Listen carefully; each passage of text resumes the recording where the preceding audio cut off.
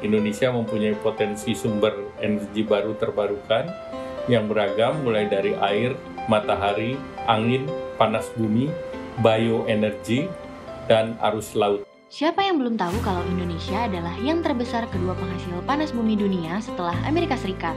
Indonesia berada di sepanjang Ring of Fire atau cincin api Samudra Pasifik dengan hamparan gunung berapi aktif di atas magma panas.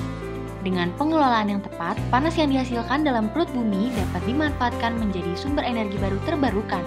Energi panas bumi ini mengurangi penggunaan energi fosil dan energi lainnya yang tidak dapat diperbaharui, ramah lingkungan, murah, dan bisa digunakan untuk sumber energi listrik.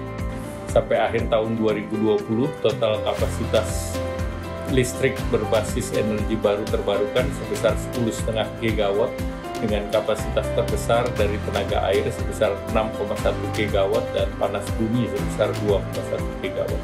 Pemakaian panas bumi sebagai sumber energi listrik ternyata baru digunakan kurang dari 10% dari seluruh potensi yang dimiliki Indonesia. Padahal tak hanya untuk listrik, energi panas bumi juga dapat digunakan untuk produksi hidrogen, bioetanol, biogas, hingga untuk industri kertas dan makanan. Sehingga energi panas bumi ini adalah salah satu jawaban tepat untuk mengatasi permasalahan energi dunia.